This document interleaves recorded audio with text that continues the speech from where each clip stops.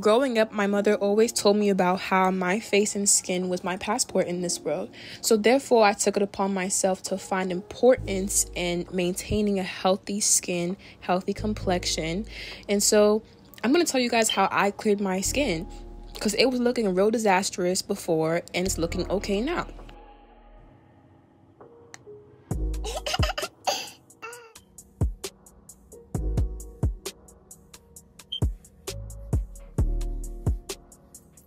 As you can see, my skin is not perfect whatsoever, but you know, it's better than what it used to be. Growing up, I was very insecure about my skin because it was just not giving.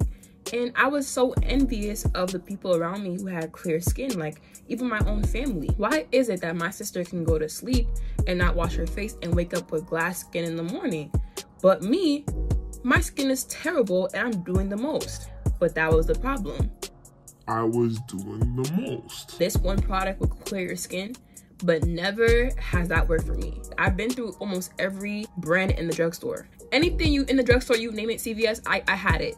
It never worked. And that's because a product on its own is not what's gonna clear your skin. You have to change much more than just what you're putting on your face. It comes down to diet, to your like small habits, just routine. Like it takes more than just a singular thing that you put on your face to clear your skin. So the one thing that I really changed about my diet was cutting down my dairy intake. Like I'm not a doctor, so don't don't try to sit here and say Kaina said that I need to not drink milk. No. I just know for me personally,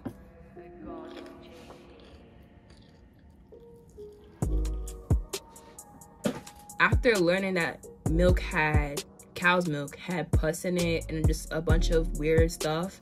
I was like, yeah, let me just see if I cut out milk, will it make a difference? And honestly, it did. My pores didn't look as like, I guess, full and my, my texture wasn't as bumpy and, you know, crazy looking. I also became hyper vigilant about the things that were touching my face.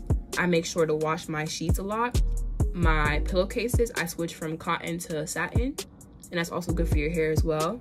I used to be a compulsive picker. I don't know what it is, but I was picking at my skin crazy. Like I would sit there like for an hour in front of the mirror and just picking my skin. How do you expect to clear your skin if you keep picking at it? When it came to pimples, I would stop picking at them and I switched to pimple patches. Definitely get into pimple patches because they keep your fingers off your skin and like it'll pop the pimple for you. And lastly, you need a consistent routine. I'm not gonna lie and sit here and say that I've been using the same four products for the past two years because honestly, I have not. I'm not gonna say you need a toner or all the extra stuff. You need a cleanser, a moisturizer, and sunscreen. I've learned that for me, buying all these products geared towards acne never really worked. The natural products definitely did something, but it wasn't enough either. The problem for me was that my skin barrier was messed up. After using St. Ives scrub, the notorious scrub that everyone thought would save their skin, I would scrub my skin every night. And I learned that that scrub gives you micro tears, it gives you irritation, and in doing that, my skin became more inflamed and worse. So, and just having a consistent moisturizer, cleanser, and a sunscreen, my skin started to calm down.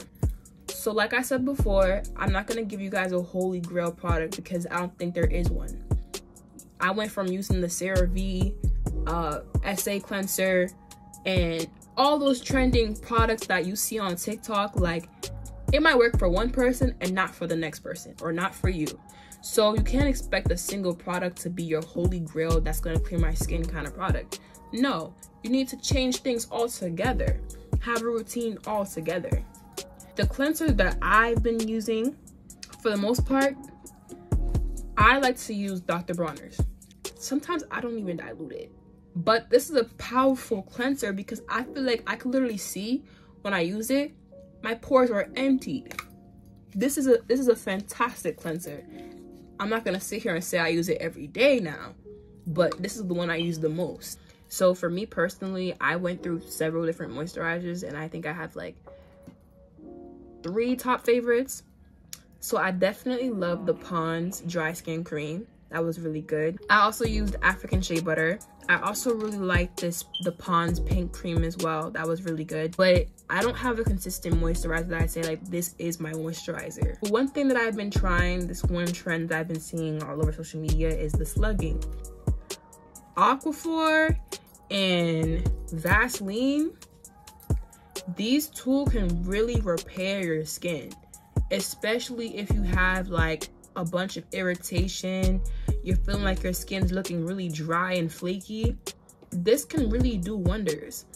I will literally sit there and slather my face at night with Aquaphor and the next morning I wake up looking looking young, youthful, skin looking shiny, moisturized. And it really is a simple thing that you guys probably think will clog your pores, but this will do wonders. It'll really maintain your skin. Don't sleep on Aquaphor. Um, anyway, so like I said, cleanser, moisturizer, and SPF.